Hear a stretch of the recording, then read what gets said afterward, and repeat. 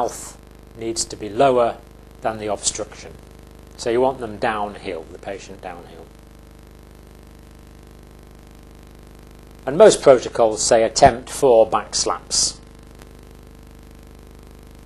So the head should be lower than the lungs so that you're using gravity to aid the removal of the obstruction in the trachea.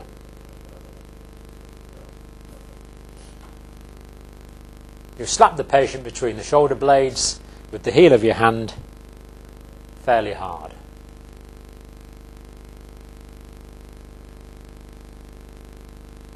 If it's toddlers, you can lie them over your knee and uh, slap them, again getting the downhill position.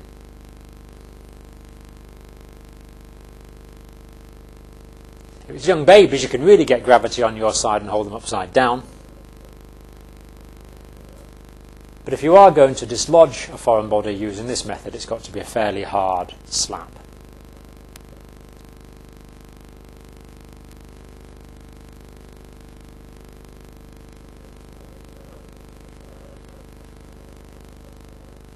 Now I said a fairly hard slap because what you're hoping is, is that the, when you slap them on the back of the chest, the vibrations or the shock wave that you put, put through the chest when you slap them is going to loosen the obstruction.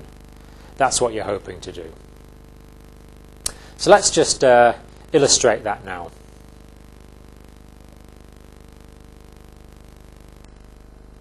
all I could find was a, a, a, neonatal doll here, but never mind, it shows the principle. So if it's a baby, we can actually hold them up by the ankles very securely like that, and we can hit them on the back between the shoulder blades.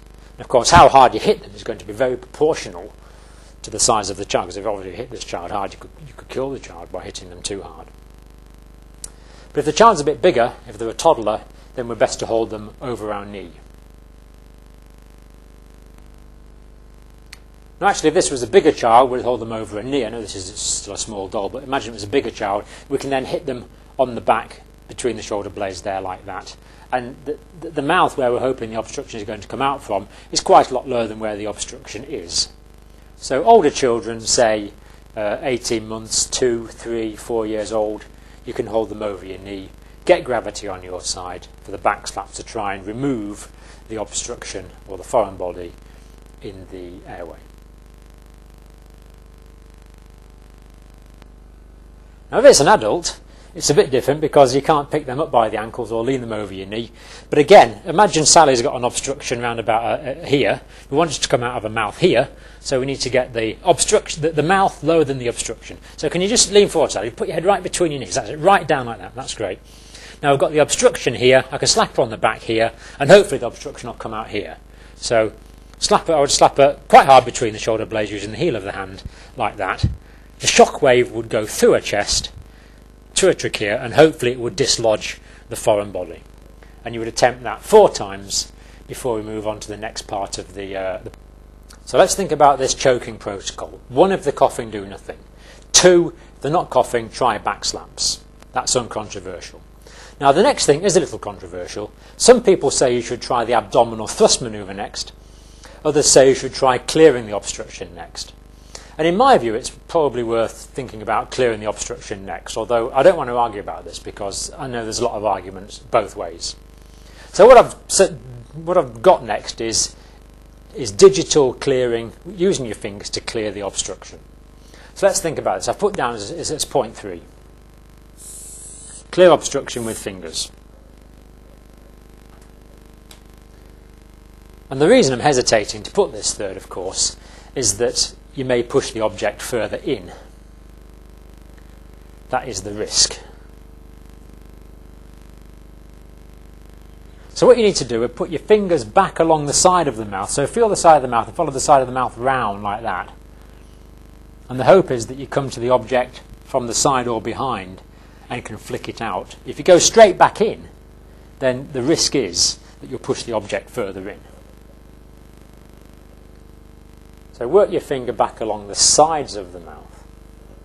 Along the sides of the mouth. Very important. Not through the centre, through the sides of the mouth. To avoid pushing the object further in. If you can feel an object, flick it out quickly in case it's re-inhaled. Because once the object is removed, the first thing the patient will do is gasp because they're so desperate to get air into the lungs. And if you haven't flicked it out the way quickly, they could re-inhale it. Of course, this depends entirely on the object being uh, fairly accessible near the back of the mouth in the oropharynx or somewhere like that. Of course, if you could have a look in and, and maybe take the obstruction out with a pair of uh, um, forceps or something, that would be ideal. But it's very difficult when the patient is so uh, so panicky, as anyone is when they can't breathe. But certainly, I've done this uh, myself with fish bones. Um, patient's been choking with a fish bone. Just open the patient's mouth look back into the oropharynx or at the arches at the back of the mouth, and you can just put in your tweezers or your, your whatever they are, forceps, and just lift it out. And instant relief. The patient is absolutely delighted to get rid of this obstruction. Not always possible. So I'm not putting this down as a rule. You've got to use your initiative. But that is one thing you can do, clearing it out with your fingers. Now the next thing is the abdominal thrust maneuver. If that's still not working. So first of all, if the coughing, we left them alone. Secondly, back slaps. If that doesn't work, try clearing it with your fingers. If that doesn't work, the next thing is the abdominal thrust maneuver. The fourth thing you would try in this protocol. So let's think about this abdominal thrust maneuver. Here's the theory. You clench your fist between the patient's navel and the bottom of their sternum and place the other hand over it.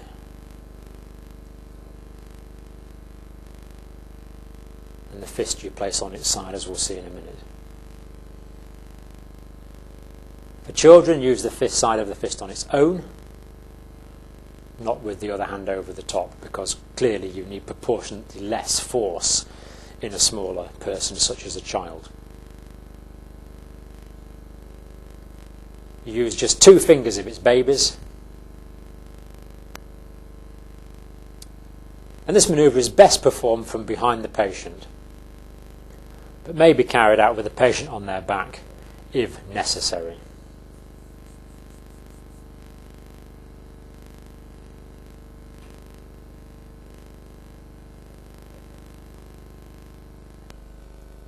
So let's think about the abdominal thrust maneuver now, and, and Sally has agreed to volunteer for this again. What we're going to do is put our fist at the upper part of the abdomen. The best thing to do to get the leverage here, you get behind her and you can feel the bottom of her sternum there and uh, tummy buttons about there. So you put the fist on its side like this, and you put the other hand over it, and you get behind her. Now what you do is you pull your hand up and back very quickly. Now I'm not going to do this because it's quite a nasty thing to do if someone's not choking. So get behind them and pull that up and in very quickly like that. And when you do that, the uh, it, will press on the diaphragm and push the diaphragm up and that will increase the pressure in the chest. And the idea is that this will actually dislodge the foreign body and go like that, and, and uh, the foreign body will, will come out. The abdominal thrust maneuver. The problem is it's a horrible thing to do to someone, but of course, if they're choking, then, then, then it's necessary. So if you do have to do it, bear in mind the fact that you might have damaged the tissues in the area, and the person should receive a medical check afterwards just to make sure that, that, that there's nothing damaged. So get behind the patient, top of the abdomen, up and pull hard, and hopefully the patient goes like that, and the foreign object, hopefully, will, will be removed. So the abdominal thrust maneuver. You need to lie the patient down, then you just do it from the front. It's just the same, but it seems to work better. You can go like, so get behind them, go behind them, that sort of sharp movement like that. And hopefully that will dislodge the foreign body. Fairly drastic treatment, but if the alternative is uh, asphyxiating due to a foreign body in the upper airway, it's well worth having a go. Point one, if the patient's coughing, do nothing. Point two, try back slaps. If they stop coughing and the airway is blocked. If that doesn't work, try clearing it with your fingers. If that doesn't work, try the abdominal thrust maneuver. And if the patient stops breathing, then artificial respiration may be necessary. artificial respiration.